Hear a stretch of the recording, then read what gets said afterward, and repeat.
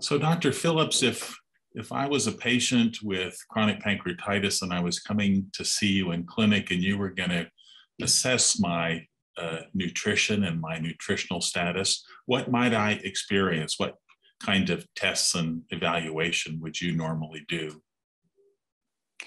Thank you for that question, Dr. Forsmark.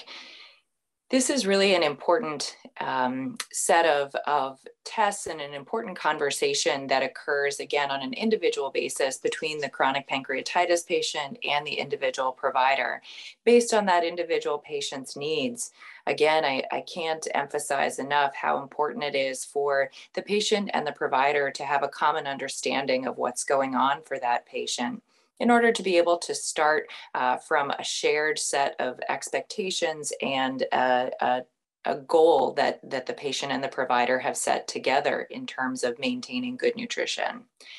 And so the aspects of testing that may occur for patients when they come into the clinic for nutrition assessment would include the normal pancreatitis history, history of acute pancreatitis, number of attacks, those types of things as well as what their current symptoms of pancreatitis are, including pain, maldigestive symptoms of diarrhea or oily stool, certainly the important symptoms of weight loss and how far off of their baseline weight they are, and any other symptoms they may be having.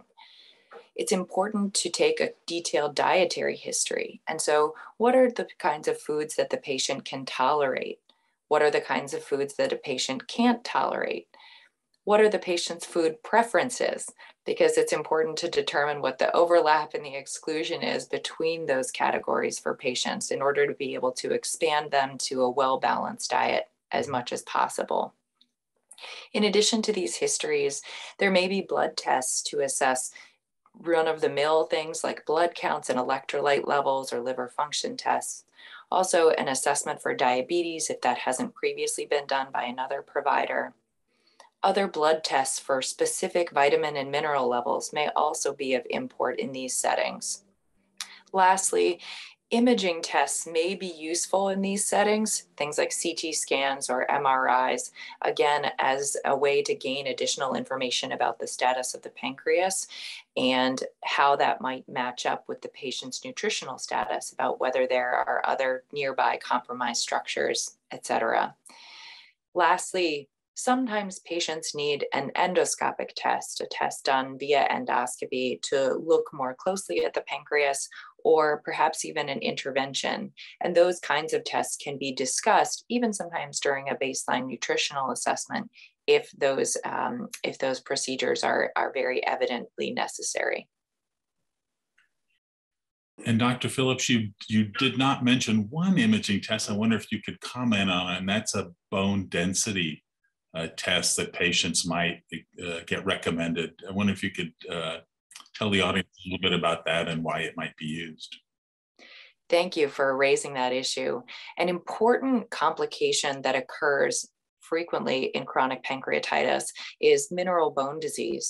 And so chronic pancreatitis patients may malabsorb vitamin D and calcium over many years before this problem is recognized.